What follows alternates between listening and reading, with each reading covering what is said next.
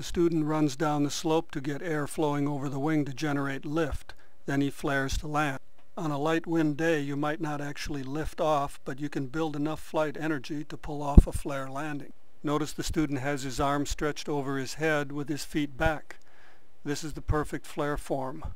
As the glider's nose rotates upward, he lands on his feet even though he keeps them back.